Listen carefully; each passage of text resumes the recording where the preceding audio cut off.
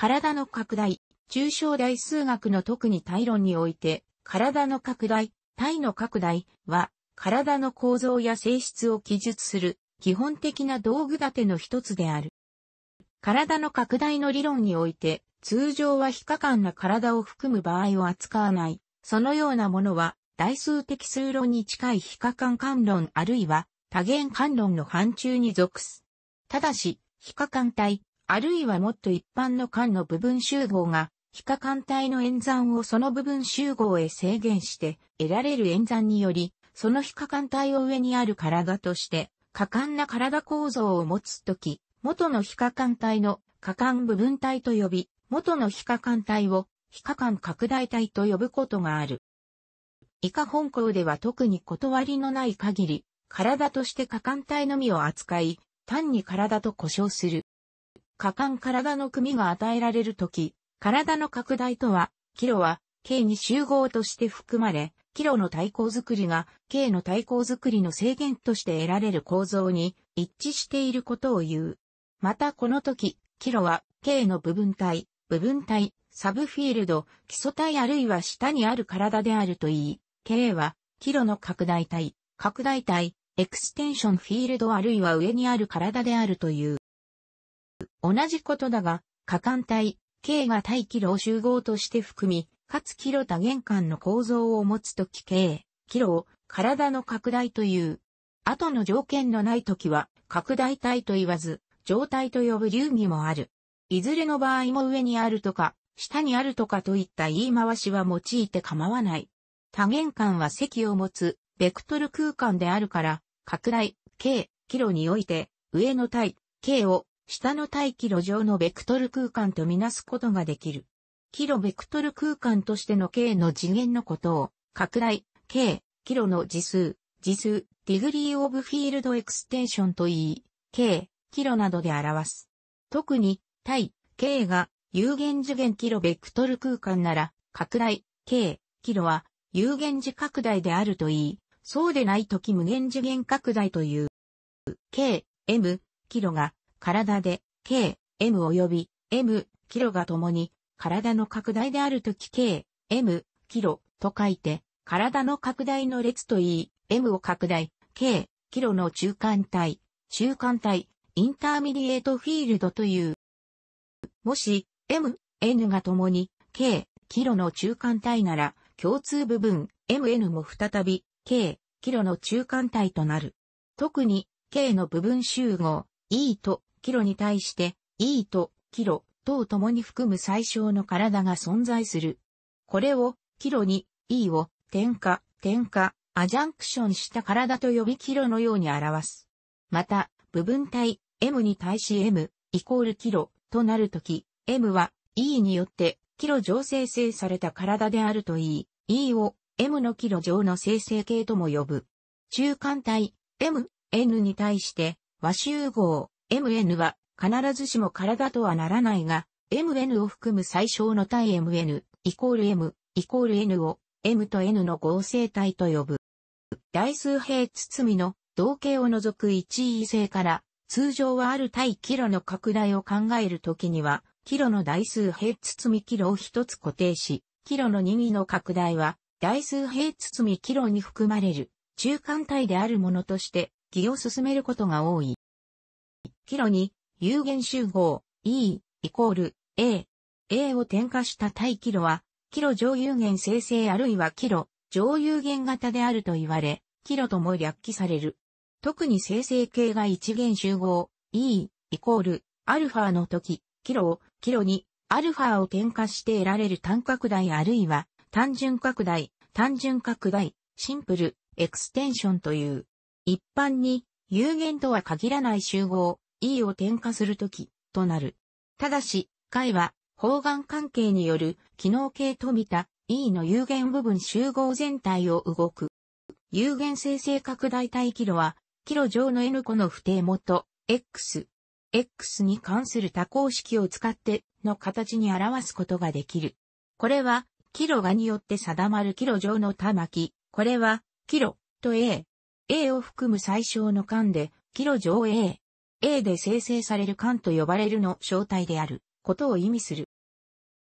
K、キロを体の拡大とするとき、K のもと、アルファが、キロ上代数的、代数的、アルジェブレークオーバーキロであるとは、キロ係数多公式、F で、アルファが F の根となるようなものが存在るときに言う。キロ上代数的な K のもと、アルファを根に持つキロ係数多公式でモニック、かつ、次数最小のものを、アルファのキロ上の最小多公式、最小多公式、ミニマルパリノミルと呼び、イヤのように記す。拡大、K、キロで、K の、角、元がすべて代数的であるとき、拡大、K、キロは、代数的であるといい、K を、キロの代数拡大体という。拡大、T、キロが、代数的でないとき、拡大、T、キロは、超越的、超越的、トランセンデールであるという。T の元トンは、代数的でないときキロ上の超越元という。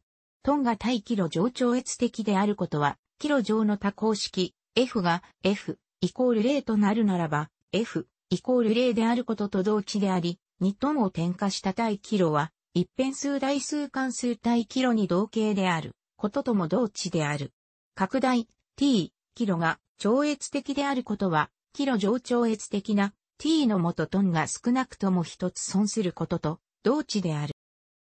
拡大 k キロが与えられたとき、k の元アルファ、アルファ。アルファに対して口頭的に0でない n 変数の多項式解で解イコール0を満たすものが存在するとき、アルファ、アルファ。アルファは代数的従属であるといい、そうでないと期待数的独立であるという。超越拡大 t、キロに対し t のキロ上代数的独立な元からなる部分集合 b で拡大 t、キロが代数的となるとき、b は t、キロのあるいは t のキロ上の超越付き、または超越規定超越規定、トランセンデールベーシスという。ソルンの補題 t がキロ上有限生成の場合は、機能法により、超越規定は常に存在する。特に、超越拡大 t、キロが、その超越規定 b によって t イコールキロと表されるならば、拡大は順超越的であるという。また、超越規定 b の濃度はその取り方によらず一定であることが、民できるので、これを t のキロ上の超越次数、超越次数トランセンデールディグリーあるいは次元、次元と言い、デグ t あるいはトランス、デグ t などと表す。例えば、代数関数体キロは、キロ上 n 次元の順超越拡大体である。有限次拡大はすべて代数拡大であり、また超越拡大は必ず無限次元拡大である。しかしそれぞれ逆は言えない。つまり、無限次元の代数拡大が存在する。代数拡大が正規拡大であるとは、多項式間において2根を持つすべての規約多項式が一次式の積に分解されることを言う。すべての代数拡大は正規平包み、つまり拡大のうちが正規となる最小の拡大体を持つ。代数拡大が分離拡大であるとは、体のすべての元の最小多項式が分離的である。つまりの代数的平包みにおいて重根を持たないことを言う。原子元定理からわかることとして、すべての有限一分離拡大は単純拡大であることがある。ガロア拡大とは正規かつ分離的な拡大体のことである。体の拡大が与えられたとき、自己同型群を考えることができるこれはの、核、元を固定するすべての体の順同型からな。ガロア拡大に対してはこの自己同型群は拡大のガロア群と呼ばれる。また、ガロア群がアーベル群となるような拡大は、アーベル拡大と呼ばれる。体の拡大が与えられたとき、その中間体にしばしば興味がある。ガロア拡大とガロア群の著しい特徴は、中間体の記述が完全にできることである。ガロア理論の基本定理で述べられているように中間とガロア群の部分群の間には全単者が存在する。